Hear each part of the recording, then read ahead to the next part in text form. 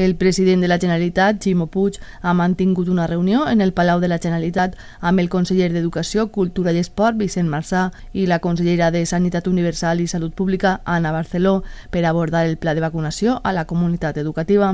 Puig ha anunciat que dilluns que ve arrencarà la vacunació del personal docent a la comunitat valenciana. 116.032 persones pertanyents al sector educatiu, tant públic com concertat o privat, que seran vacunades les dues properes setmanes i s'organitzaran espais de vacunació distribuïts en 23 municipis repartits per tot el territori.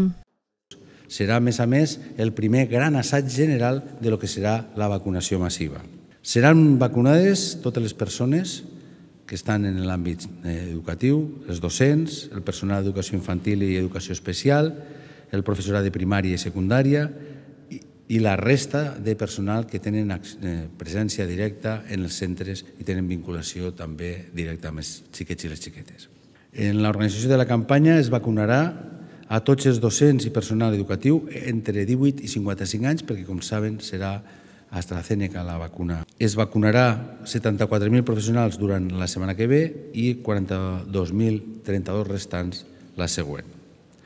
La segona dosi d'esta vacuna s'administrarà entre 10 i 12 setmanes, en principi 12 setmanes més tard. El conseller d'Educació, Vicent Marçà, ha concretat que la campanya es concentrarà en sis dies i s'ha programat perquè els possibles efectes secundaris no afecten el dia a dia dels centres educatius. Es desenvoluparà així durant els pròxims dies 15 a la vesprada, 16, 17 i 18 durant tot el dia, aprofitant els dies no lectius declarats per les falles, així com el divendres 26 a la vesprada i el dissabte 27 durant tot el dia.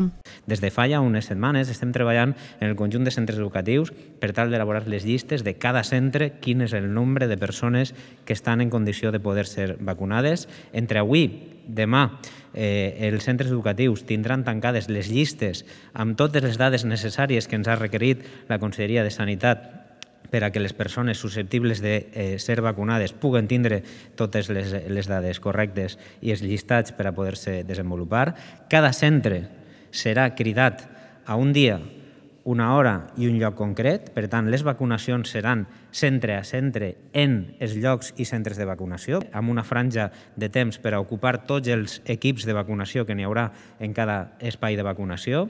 En cada espai de vacunació n'hi haurà diferents equips de vacunació per a poder agilitzar al màxim el, el treball i hi haurà presència de responsables per part de la Conselleria de Sanitat com de la Conselleria d'Educació.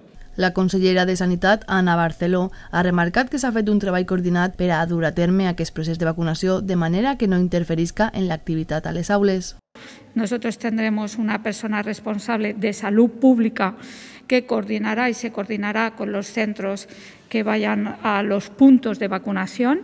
En estos momentos, además de los 23 municipios que tienen establecidos en, el propio mapa, vamos a colocar 242 equipos de vacunación.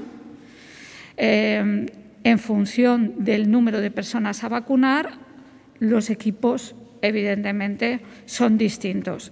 De estas 252, este despliegue de equipos eh, representan unas mil personas, mil profesionales de la sanidad, los que van a participar para vacunar a estas 116.000 persones. En concret, els municipis que comptaran amb espais de vacunació són Vinaròs, Castelló de la Plana, Vila-real, Sagunt, Llíria, Massamagrell, Paterna, Mislata, també Torrent, Requena, València, Alcira, Xàtiva, Gandia, Dènia, Alcoi, Benidorm, Elda, Sant Joan d'Alacant, Alacant, Elx, Torrevieja i Orihuela.